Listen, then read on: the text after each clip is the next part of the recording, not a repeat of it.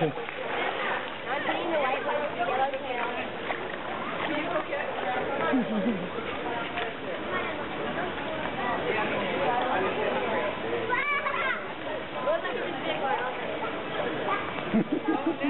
are you doing over there?